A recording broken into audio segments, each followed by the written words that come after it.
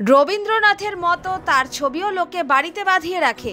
আর তাতে তার কোনো অসুবিধা নেই। বক্তা, তৃণমূল বিধায়ক মদন মিত্র তার সঙ্গে নিয়োগ দুর্নীতিতে নাম জড়িয়ে পড়া রহস্যময়ী হৈমন্তী গঙ্গোপাধ্যায়ের ভাইরাল নিজস্বী প্রসঙ্গে এই মন্তব্য করলেন মদন।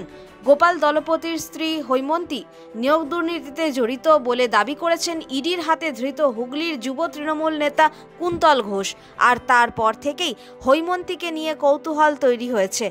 দানা বেঁধেছে রহস্য। এই আবহে মদনের সঙ্গে সেই হৈমন্তীর ছবি এলো প্রকাশ্যে। তবে তৃণমূল নেতার দাবি তিনি হৈমন্তী বলে কাউকে চেনেন না।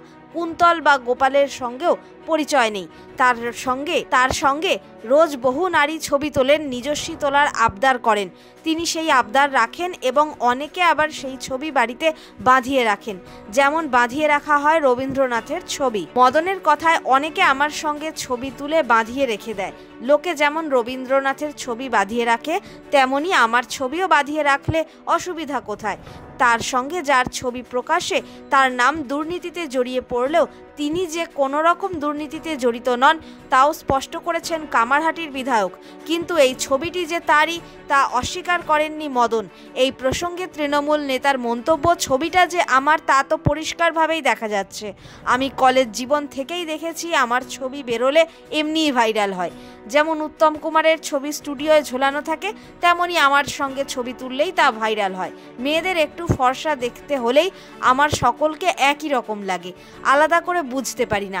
তারপর ভুলে যাই কোথায় দেখেছি, কবে দেখেছি। মদনের সঙ্গে হৈমন্তী কবে এবং কোথায় এই নিজস্বী তুলেছিলেন তাও তার মনে নেই বলে জানান মদন।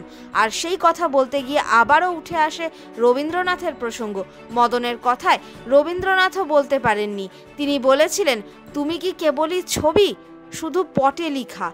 ওই যে সুদূর নিহারিকা যারা করে আছে ভিড়, আকাশের নীল, এই ছবি এখন নৈনিতাল, দীঘা না ইকো পার্কে তোলা, সেটা কি করে বলব? মদনের দাবি, হৈমন্তীর সঙ্গে যেভাবে ছবিটা তোলা হয়েছে, সেভাবে তোলা না হলে নাকি তা রোম্যান্টিক হয় না, আর সেই কারণেই মেয়েরা তার সঙ্গে এইভাবে ছবি তোলে।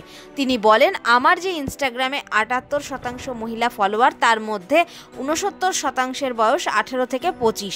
এরাই আমাকে ভোট দিয়ে জেতায়। এরাই সবসময় আমাকে খোঁজে। আমার সঙ্গে ছবি তুলতে চায়। মদন স্পষ্ট করেছেন, তিনি শুধু হৈমন্তী বিশ্বাস ছাড়া ওই নামে কাউকে চেনেন না।